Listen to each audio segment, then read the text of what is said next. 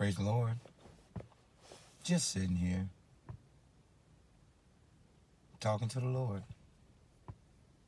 begging Him about my health, begging Him about a promotion at work.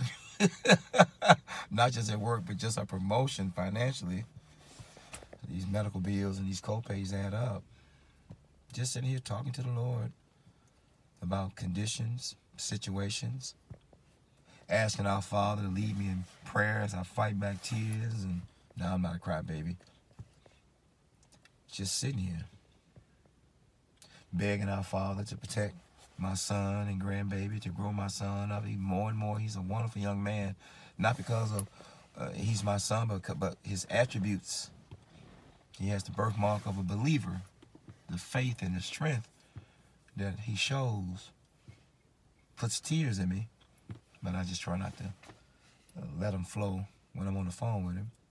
He's gotten so mature.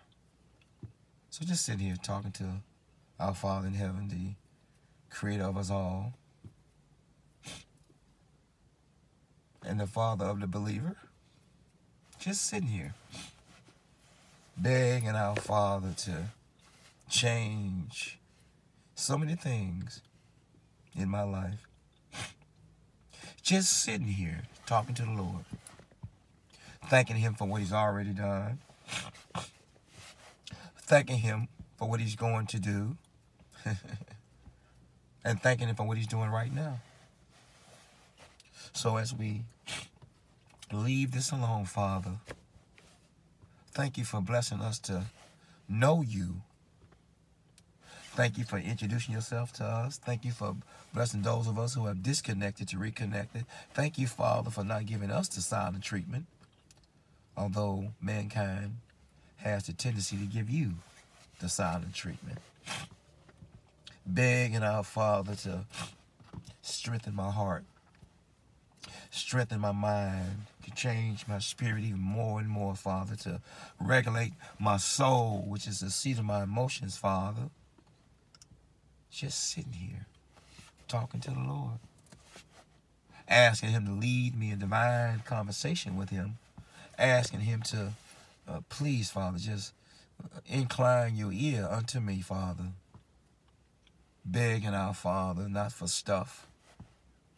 Begging our Father, not for things, but begging the Most High God. Hi, God, how you doing? For spiritual things, just sitting here talking to the Lord, asking him for more self-control, asking him to strengthen my guardian angel, asking him to strengthen my immune system. Just sitting here talking to the Lord. Thank you, Father, for this time with you.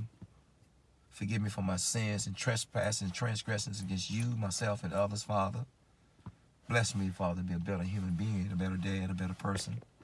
Thank you, Father, Heavenly Father, for blessing me to have this conversation with you. Peace, just sitting here with the Lord and one.